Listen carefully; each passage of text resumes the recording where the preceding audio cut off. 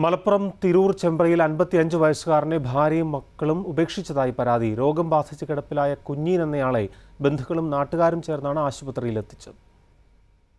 പതിനെട്ട് വയസ്സിൽ തുടങ്ങിയ പ്രവാസ ജീവിതം നാല് വർഷം മുമ്പ് മുഴുവൻ സമ്പാദ്യവും കൊണ്ട് നാട്ടിലെത്തി വീട് പണിതു രണ്ടു മക്കളെ വിവാഹവും കഴിപ്പിച്ചു.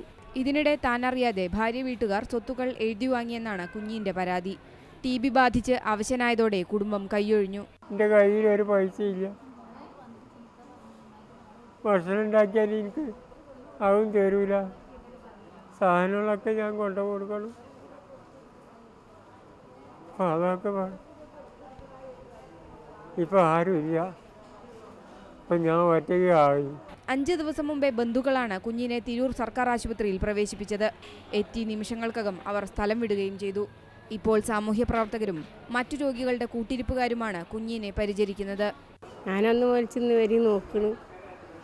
എന്റെ വാപ്പാനെ പോലെ ഞാൻ തൊള്ളയിൽ ചപ്പാത്തി മുറിച്ച് വെച്ച് കൊടുക്കും. ബന്ധവും മുൻപരിചയവും ഇല്ലാത്തവർ കുഞ്ഞിനെ പരിചരിക്കുമ്പോൾ ഭാര്യയ്ക്ക് പറയാനുള്ളത് ഇതാണ്. അയാളൊരു ചെലവോ എനിക്ക് അസുഖം പിടിച്ചിട്ട് എന്താണെന്ന് അന്വേഷിച്ചിട്ടില്ല ഞാൻ ഞാൻ ഇയാളെ ഏറ്റെടുക്കണമെന്ന് പോലീസ് ബന്ധുക്കളോട് ആവശ്യപ്പെട്ടിട്ടുണ്ട്.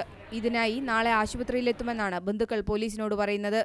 ഏഷ്യാനെറ്റ് ന്യൂസ് തിരൂർ.